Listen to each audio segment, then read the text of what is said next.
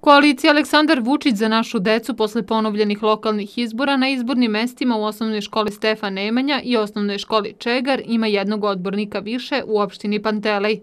Umesto 15, kako je bilo prema preliminarnim rezultatima od 21. juna, u odborničke klupe sešće 16 odbornika te koalicije što će reći da je to 70% mandata u Skupštini opštine Panteli.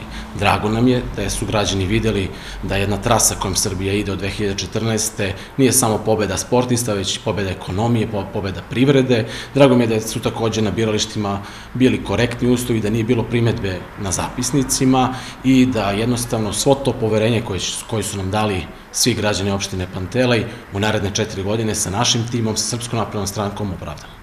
Zahvaljujem se svim građanima naše gradske opštine Pantelej koji su dali ovoliku podršku Srpskoj naprednoj stranci e, i to čak sada na e, ponovljenim izborima na dva biračka mesta i veću nego u prvom krugu. E, pogotovo se zahvaljujem ljudima koji žive našim komšijama iz Somborske ulice, a to je biračko mesto broj 16 jer su oni čak tri puta glasali i sva tri puta dali ogromnu podršku Srpskoj naprednoj stranci.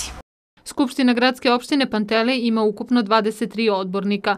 Dva odbornika ima Slaviša Dinić, koalicija za Pantelej, a po jednog SPS Jedinstvena Srbija, Aleksandar Šapić, pobeda za Niš, Nedamo Niš, Bojana Vramović, Sergej Trifunović, pokret slobodnih građana i Ujedinjena seljačka stranka.